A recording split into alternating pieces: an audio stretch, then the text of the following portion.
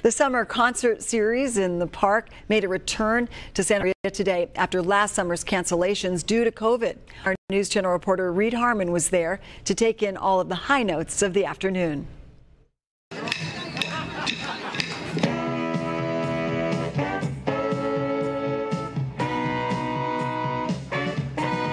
Santa Maria Concert in the Park series is back. Live music is where it's at. Uh, coming supporting live music wherever it's at. Most definitely in Santa Maria, we want to, you know, help the, the local music and the economy. So coming out here, there's other businesses here that probably felt the pinch of COVID.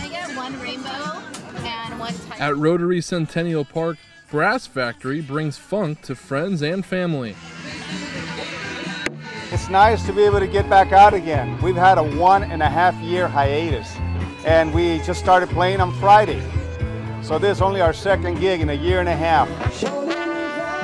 It's a perfect tempo to an amplified weekend. it feels good because like we've been in quarantine for a long time, so like it feels good to finally be out again. We couldn't do nothing. Yeah. Stayed at home, you know. We were together at home as a family, but to be out here with friends that we haven't seen for a while, and to, you know, have this good time with everybody out here today.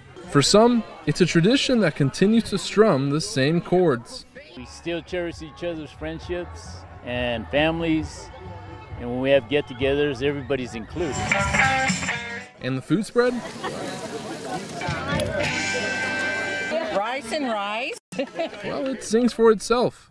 The concert series will continue the rest of the summer season. In Santa Maria, I'm News Channel reporter Reed Harmon.